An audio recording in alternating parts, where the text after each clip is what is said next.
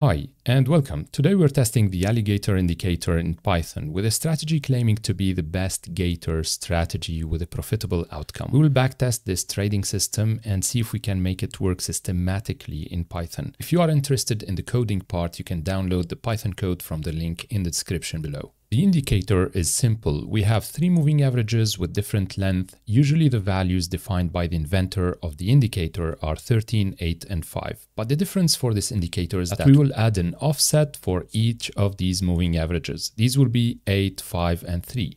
I don't see how this could make any sense because indicators are already lagging, so why would add any more lag? But let's wait for the backtest before we judge this indicator. The strategy tests if the three moving averages are in a certain order. So if we have the fast above the medium above the slow moving average, we consider an uptrend. In our code, we need this condition to be true for the last few candles. So we're not just testing for one single candle, which is the current candle, but also for the previous subsequent candles. Let's set a number of back candles that we can change in our code just as any other variable. For example, here we have a moving average curves order in the up direction for these subsequent candles. So we have an uptrend movement and we will wait for one candle to close below the medium moving average. That's the red curve in the middle because now we are in an uptrend and we are waiting for this trend to be broken in the down direction. This candle closes below the medium moving average. So in some sense, we consider it breaks the current usual trend and we assume that the price will continue moving downward from this point on. In the opposite direction, when we have a downtrend confirmed by the three moving averages, we will wait for a candle that closes above the middle moving average. So it breaks the trend and we assume that an uptrend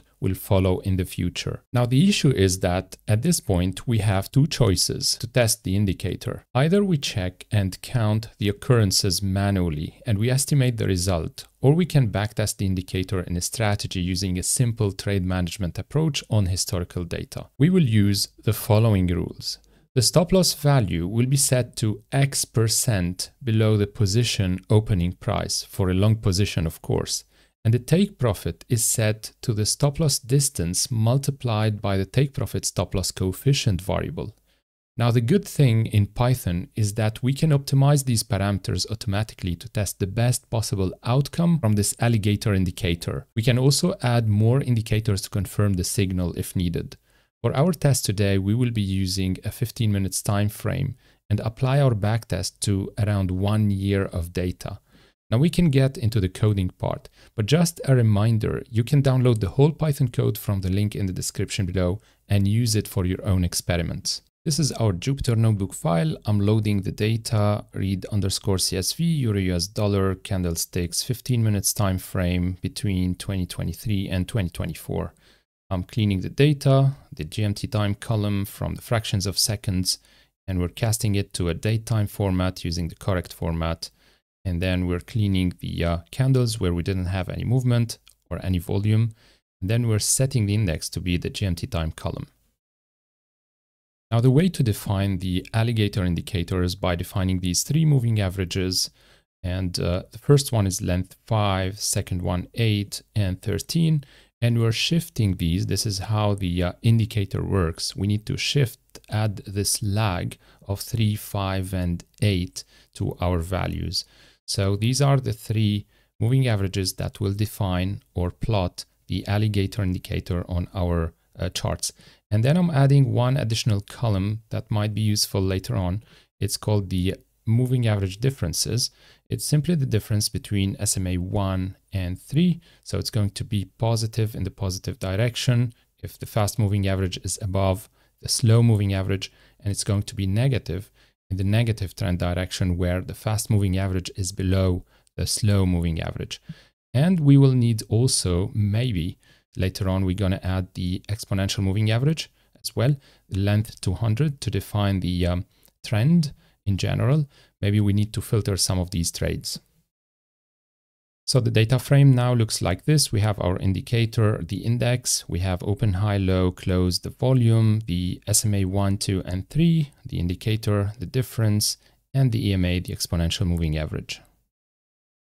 Now we're going to define a new function called check SMA conditions. It takes the current row index the data frame and the number of back candles to consider in the test of the trend. So uh, we have the uh, slice, the first slice for the SMA1, the moving average one. It's equal to the current index minus the number of back candles until the current index excluded. So it's, let's say, the previous 10 or 5 or 15 candles discarding the current candle. And it's going to be the same slice for the three moving averages, only with different columns. And we're checking if all the high prices of these candles are below the EMA or if or the lowest prices of these candles are above the EMA. This is going to help us define the trend in general if needed. Now we don't have to use all these conditions at the same time, but these are just here. I kept them for you if you want to experiment on these. I'm going to explain the rest of the code here so you can use this function later on for your experiments. The first condition is called condition 1 is equal to all SMA1 below SMA2 below SMA3. So this is the um, downward momentum, the uh, downtrend uh, momentum. Then this is going to be for SMA1, SMA2, and 3 in zip, SMA1 slice, SMA2 slice, SMA3 slice. So we're just taking these slices right here and we're checking if for all the candles, this condition is true. So we have this order of moving averages in which case we have condition one, so we could return one already, but we're going to add some conditions to filter some of the noise for the indicator. Second condition is the opposite, so we need the fast moving average to be above the uh, medium moving average and to be above the uh, slow moving average. Now, I added a condition, condition one confirmed and condition two confirmed. In case you need to add some extra filtering using the 200 EMA, it's just showing you the way how to do it. So you can add some conditions inside of this function. Then there is a third condition actually that we might be considering for this video as well. It's that the difference between SMA1, SMA3 has to be above a certain threshold. I would say 10 to minus 6 at least. We don't want to take these cases where the two moving averages are very close to each others. So we don't have enough volatility, we don't have a, a lot of a difference or a lot of momentum in the direction of the trend. We don't want to consider these cases. We need real clear trend where the moving averages are wide apart from each others. And at the end, we return the signal. So we need condition one, which is this one. So we are in a short downtrend, but at the same time, we have a certain width between the moving averages. And at the same time, we have condition two confirmed. So condition two is this one. We need all the low values of the subsequent candles above the exponential moving average, which means that the um, we have a general uptrend using the EMA, but as a short term, we have a small downtrend, which means that we're waiting for this pattern where in a general uptrend, we have this small retracement downwards confirmed by condition one, and we need to have a break above the uh, middle moving average. So now we can run this cell and we have our SMA signal for now. Then for the total signal, we're going to use this SMA signal. So when it happens, I also kept some additional conditions for the body of the candle and the upper wick. Maybe you want to use the lower wick. So we're not going to use these now. These are not used for this code, but I kept them here for experimentation later on. So I'm going to comment these for now. Just keep in mind that they are here in case they are needed. So if we have an SMA signal equal to 2, so we have a short uptrend in a general downtrend. So it's a small retracement up in a general downtrend. And at the same time, we have a closing price below the middle SMA, the medium uh, pace SMA. In this case, we return one. We assume that the price is going to take the trend down again and continue downwards. In the opposite case, if the SMA is equal to one, the SMA signal result, and the row close is above the SMA2, then we consider that we're going to have an uptrend uh, to continue in the general uptrend and we return 2. In any other case, we return 0. And this is our total signal. I'm going to run this for now. So in this example, we took back candles equal to 10. So we're just computing all of these signals for the uh, 10 previous subsequent candles. But we can use more. Actually, we can use 20 or 15. It's the 15 minutes time frame, so we could use at least 15 of these. Anyway, for the for the signal, for the total signal, we have this. I'm going to test that we have signal equal to 2. So we have 78 rows signal equal to 1 is around 134 rows. These are the purple points. I'm plotting all the data we have now for a whole year, but it's not going to look very uh, clean. We can to take a small slice. So that's ST plus 400, let's say. Um, we have one signal here and notice that we have this 200 EMA here. So we are in a general downtrend. Then we have a downtrend as well, but then a small retracement, um, an uptrend, a small uptrend here, a retracement. And apparently there's a candle closing below the middle one, breaking down this small retracement. And this is how we know that the uh, price is going to continue down. It's not looking very bad, to be honest. This signal is looking very good. Let's check the second one. It's around 400. So we're going to add the slice a bit more. Let's go up to 450, see what happened. Also, the price continued down, and this is a great entry point, actually. These are a great entry points. I'm going to shrink it to start to from 200 because this way we can maybe see better. So we have this point, this one, and this one.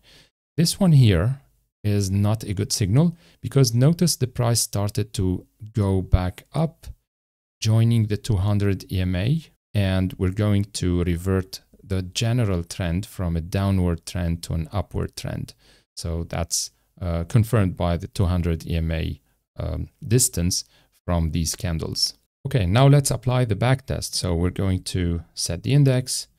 We're going to um, load the signal in a function that we have pre-computed. And we're going to optimize actually using backtesting.py. We're going to optimize two parameters, the take profit stop loss ratio and the percentage. The way it's going to work, the stop loss is going to be, uh, let's say, 2% below the price, below the current price. And the take profit is going to be the stop loss distance times this take profit stop loss ratio. So 1.5 here the stop loss distance. That's this is our uh, take profit. That's our reward risk ratio. And uh, this percentage, I'm not sure we should be taking 2%. And this is why I included it inside of the uh, optimization. So we're going to try 1 per 1000, 2 per 1000, 3, 4, and 5. So we're not even reaching 1% because otherwise we would have stop loss distances that are far away from the entry positions. So this is how it should be for now. It makes a bit more sense. So we're going to run this optimization now, and you can see that it's going to take a bit of time, few seconds, less than a minute. And now we have the result. So in the best possible case, notice that these are the optimized parameters. We get 15% in returns. We didn't, we didn't account for commissions here because we're testing the indicator. We're not testing the whole strategy. I just want to know in the best possible scenarios, in the best possible case, and with optimized parameters, how much this alligator indicator can lead in profits and returns for a year of data. So the annual returns are around 13%. The Sharpe ratio is around 1. That's not very impressive. Maximum drawdown minus 7%. That's good. I don't like large drawdowns and average drawdown is minus 0.7%. That's also good. We can plot, well, we have access to the trades in case you are interested. So profit loss of every trade, the entry price, the exit price, and so on. We can check the best set of parameters. So uh, after the optimization, so the take profit stop loss ratio is 1.7 and the percentage is 4 per 1000 are the best returns, the best possible return, which is 15% here. So we have a cluster of positive values. It's not looking very impressive, to be honest. And this is a confirmation that the previous indicator in the previous videos that we have used using the Bollinger Band was very powerful because I remember the whole matrix looked very positive. So we had large clusters of positive returns and good returns which is not the case in here for the alligator, for example. We can also plot the equity and the, uh, the trades, and we can see that we have a large drawdown period here. So it's like around, I would say, three months, four months of drawdown. Then we started climbing. The second half of a year was a bit better. So we started climbing. It's not much of a trade. So in total, we have around, I think, um, 70 trades or so. So it's around 57 trades, the win rate is 47%. So this is in the best possible scenario. Remember that we run this for the optimization. So with the best set of parameters, we got these results. So that's not very impressive for the alligator unless we are using it the wrong way. There might be different ways of using the alligator. If you've used it in a good strategy, please do let us know in the comments. It takes two minutes. Leave me those in comments. We can discuss this and see if we can include it in one of the future videos. For me, it's the first time I'm using it. I'm testing it. I was just curious. It was also proposed by, by some of you in the comments. So this is why we're testing it today. Also, if you are having troubles plotting, you're having this error message. Someone left a comment and I hope they are watching now. Data contains too many candlesticks to plot, etc. You can just um, turn off the resampling. So resample equals false and it's going to work. Apparently it's a bug from backtesting package for the new updated version. Uh, sorry about this. I know someone left this in the comment section and I didn't leave the uh, correct answer. Now I found the solution. If you are watching, you have your solution for now. Okay, so as you can see, back to our indicator, it's not that impressive, I would say. I really struggled to get any positive returns using this indicator. But maybe the way we're using it in this video is not the best. If you have any other propositions, please leave it in the comment section. Thank you for staying that long. And until our next one, trade safe and see you next time.